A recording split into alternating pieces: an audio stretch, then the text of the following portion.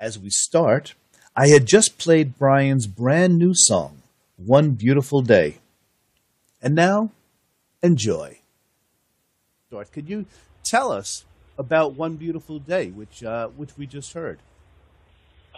Well, it's uh, I, I just had this. Uh, it, it's kind of a long, kind of an odd story, but uh, I heard. Uh, I guess it was back in the 1990s uh, when uh, I heard a report that uh, Paul McCartney, on the last day that he spent with his wife uh, Linda Eastman, and they he said we went horseback riding and it was a beautiful day, and then our health went downhill. But we had that one beautiful day together, riding horses. I don't know where it was, and I thought that's a that's a great sentiment for a, for a song